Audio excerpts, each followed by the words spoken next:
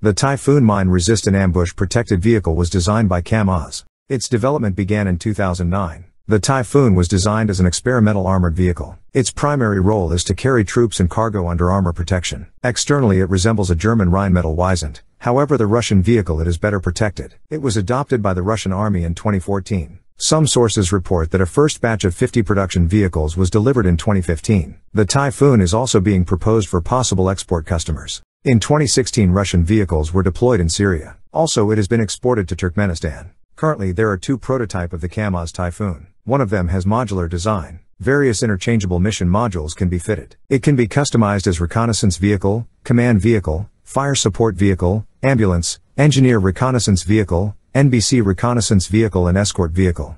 Mission modules are interchangeable with the Ural Typhoon, which was developed alongside the KAMAZ Typhoon. Both vehicles have 6x6 configuration. This MRAP has steel armor construction with add-on composite armor. It is claimed that armor of the cab and mission module provides all-round protection against 14.5 mm armor-piercing rounds. Vehicle was also designed to withstand mine blasts. Vehicle is claimed to withstand equivalent of 8 TNT blast under any wheel or anywhere under the hull. This MRAP is fitted with NBC protection system. The Typhoon is a transport vehicle and does not carry any armament, though it can be fitted with remotely controlled weapon station, armed with a 12.7mm heavy machine gun for self-defense. The KAMAZ Typhoon can carry up to 16 troops inside the mission module in the infantry carrier configuration. Troops enter and leave the vehicle via rear doors or roof hatches. The cab accommodates driver and one passenger. The Typhoon is powered by YaMZ 5367 turbocharged diesel engine, developing 450 horsepower. This engine was specially developed for military needs. Engine is located behind the cab and is mated with automatic transmission. It seems that front and end of the vehicle are swapped comparing with 6x6 cargo trucks. However such will layout allows to distribute weight of the engine and armored cab evenly.